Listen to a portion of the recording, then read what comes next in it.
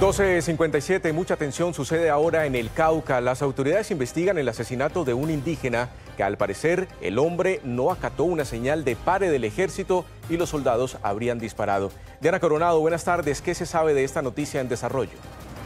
Sergio, televidentes, muy buenas tardes. Pues exactamente ocurrió en el municipio de Corinto, Cauca. Vea, los hechos fueron así, según información que conoció Noticias RCN, con eh, una oficial del Ejército Nacional. La camioneta le hacen el pare, el hombre acata esa primera señal, luego al momento de la revisión eh, del baúl, pues lamentablemente emprende la huida. 500 metros más adelante, cuando se eh, da el cierre del retén militar, pues el hombre le vuelven a hacer la señal de pare, pero lamentablemente lamentablemente no la cata y ahí es cuando se presentan los lamentables hechos en los que los militares del Ejército Nacional disparan contra el vehículo. 500 metros más adelante, pues lamentablemente encuentran el vehículo estrellado y el hombre, que al parecer es un indígena de la región, sin signos vitales. Se espera que en los próximos minutos el Ejército Nacional emita un comunicado eh, oficial sobre los hechos que ocurrieron en el Cauca. Por el momento es la información que nosotros tenemos. Rosy, ustedes de Cali tienen más información.